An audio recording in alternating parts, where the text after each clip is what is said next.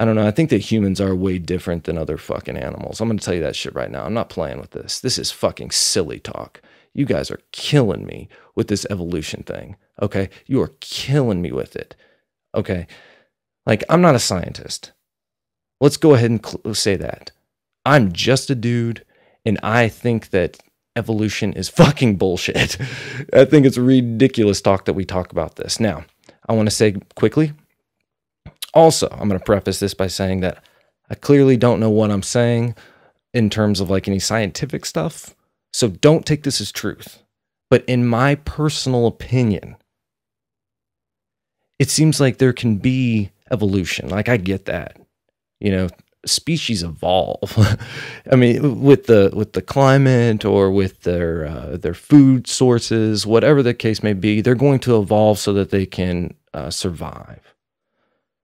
So, you know, and you can breed dogs to look like you know nineteen different types of dogs. It's fucking nutty.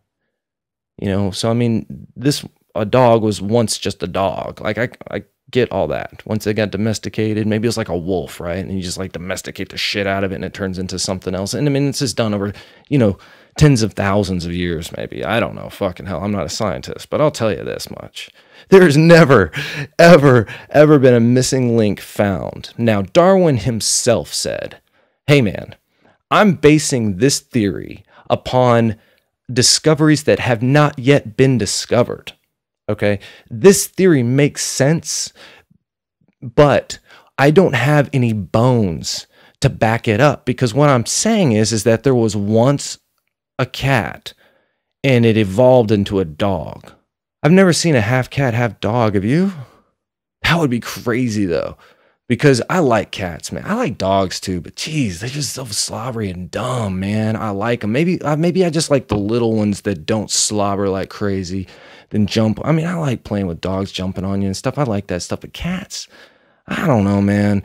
They just kind of mind their business. And I used to have this one cat once that I would let me pick its toenails, and it could also fetch beer caps. That was a cool fucking cat, man. He was big and fat and white, and I used to put a bow tie on him. That was a cool cat. But I've never seen a half cat, half dog. I want one of those. Maybe that's what my cat was. My cat was the missing link. It could fetch. So that maybe my cat was the half cat, half dog. You know, and he was all docile and let me like pick his toenails. It was weird. He would lay on his fat back right, with his legs plopped up in the air.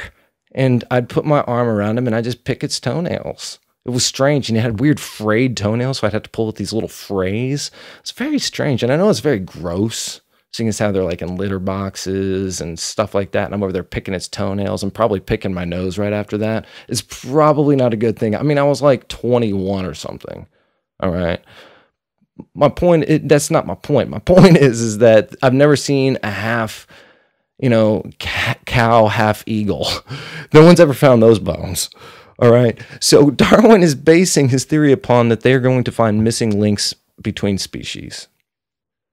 All right. They're going to find these, you know, half cat, half dogs. They're going to find half fish, half birds. You know, they're going to find a half ape, half human. That has never fucking happened. And Darwin himself said, "Hey, if you, I'm basing my theory upon the, these discoveries that you have not yet discovered, these fossils that have not yet been found." But if you can't find these fossils, then my theory is bullshit. I'm pretty sure that's how he quoted it as well.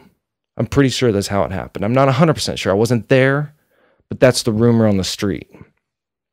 That this rumor is, that this theory is bullshit.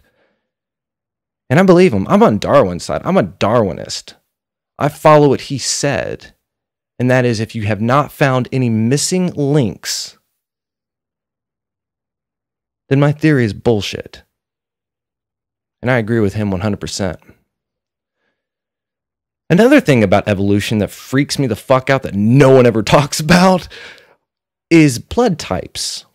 Blood types are fucking weird, man. There's like a bunch of them. So there's O, there's A, there's B, there's AB, but something that people don't really understand that has to do with the um, the ending section. So you understand, you know, I'm a I'm an O positive. Okay. I'm an O negative. Okay. What's the difference between that? Why is one positive and one negative? What does that mean? A lot of people don't really know much about that. And I'm not a scientist again, so don't take my shit as fucking fact, but go look it up if you're curious if I'm wrong or right. I don't know. But my understanding of it is this all throughout nature, like every other mammal on the planet, whether it's a monkey, a cat, a dog, a squirrel, anything that's like a mammal, right? And covered in, in hair, it has blood in it that's red. You know, it's it's a mammal. Every mammal on the planet is a I, I, you know whether what blood type let's say it's an a right but this is like monkey a or like dog a right it's like dog a positive it's dog b positive okay or maybe it's cat a positive you know maybe they have a c for cats you know like a c positive cat c positive i don't know i would do that but um instead of like a b fuck that man why why can't we have a C? What's wrong with C? Especially if it's a cat. Use that on a cat. You got these uh, these different blood types, and in humans, um, there's this negative. Where's that come from? Okay, because every other mammal has a positive. Why does this human person have an O negative? This bird is O positive. You know, this this dog is O positive. There, it's called a rhesus factor, rhesus, something like that, factor in the blood. It's the Rh factor, and it is Rh positive for every other mammal on the planet. But human beings have this weird Rh negative thing. What is that? I'll tell you what it is. A mystery a fucking mystery that nobody talks about. Because here's the thing the positive like the, oh okay um if a if a human being okay let's say a man who is o positive because humans are positive. Most are positive. Just some of them are negative. Let's say the father's o positive right? The positive is dominant.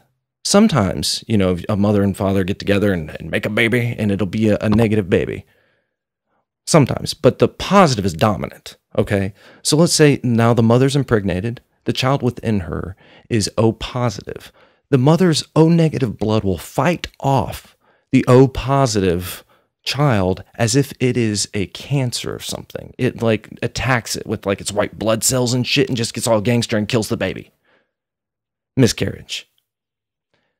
Nowadays, they have a thing called a RhoGAM shot and what it does is it, it, it somehow, I don't know, builds, in my mind, it builds like this weird bubble protective layer that will protect the child from the mother's blood. Or vice versa. Or vice versa. Check this out. Let's say the mother is O positive, right? And the child within her is now O negative. The blood will still do the same thing. You know, it's just, it's incompatible. Incompatible.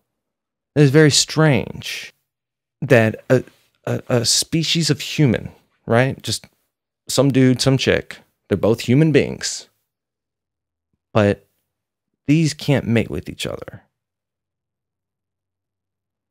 Or if they do, there's a much higher risk of a miscarriage.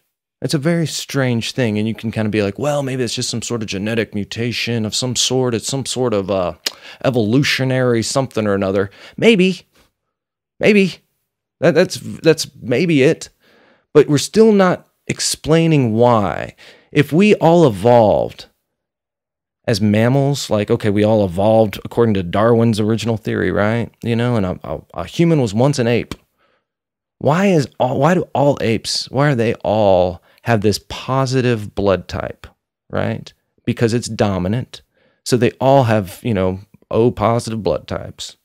Why is there some humans, since we evolved from apes, why are they O negative? Like, how did that happen?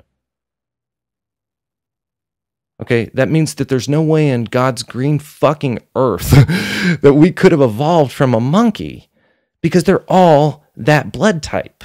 And it's not a genetic mutation of some sort. It is like it is built into you the same way that it's built into like your DNA. Like you can't alter that. There's no like root that you can chew on and all of a sudden you're an RH negative instead of RH positive. No, it's like the same as like your genes. You can't manipulate that. But somehow these humans over here are RH negative and I, I can't remember the statistic. Maybe it's like 12% of people. I don't know. And they have like charts that there's different sections around the world that there's more of those types of people, um, RH negative people, you know, are kind of clustered in certain sections as well, which is very strange. But that's something that no one even understands, and no one's even attempt to ask to like to ask the question or to answer it, because no one gets it. And that's something I think that we need to be discussing like right the fuck now. Okay, this isn't like some religious, you know, stuff. This isn't like any sort of like the spirit of God made you RH negative. I'm not saying that at all. I am saying we need to figure out why that is.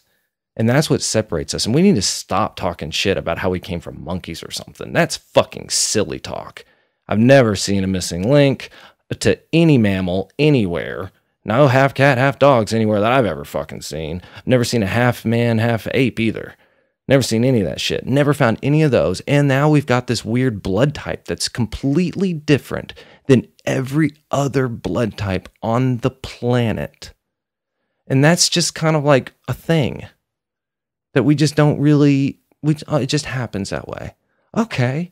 That's fucking really, really, really dismissive. That's something that I think that should be like number one on the list for us to kind of figure out what differentiates us from our surroundings. And we can all say, well, it's our logic and it's our, our ability to reason. It's our ability to do all the things that humans can do that nothing else can do. And we're like, okay, well, why does that make us special? We're, we're just another animal. No, we're not. No, the fuck not. We're not. I don't know where we came from if we came from God, we came from aliens, we came from, I mean, that's the crazy thing. You've heard those crazy ancient alien stories, right? I don't know. Maybe. It seems about as likely as any other scenario, you know, or we live in a hologram, right? We heard that one. Maybe. Seems about as likely as any other scenario. You know, when they're starting to break down what, what we're surrounded with, what like existence is, right? It's like atoms and shit. And then like uh, you can zoom in even closer. And now we have these subatomic, uh, subatomic particles. And we're looking at those. And then we're realizing that in between that is all just like space. It's like nothing in there. And so essentially, we are looking at a hologram.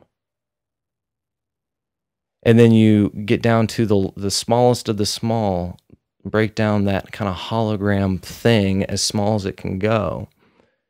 And it blinks in and out of existence. It's magic. It's like fucking craziness. It's it's nothing. It's like un, it's unlike anything else that we could have possibly imagined. And just like, okay, and everyone's just like, okay, well that's just the way it is, I guess. And it's like kind of, yeah, that is the way it is. But it, I don't know why we're being so dismissive. That's fucking crazy. What? The smallest thing that we can measure blinks in and out of existence and it all stems from that thing. So that's like all we're surrounded by is shit that blinks in and out of existence at will at the smallest level. What? This is really weird, man.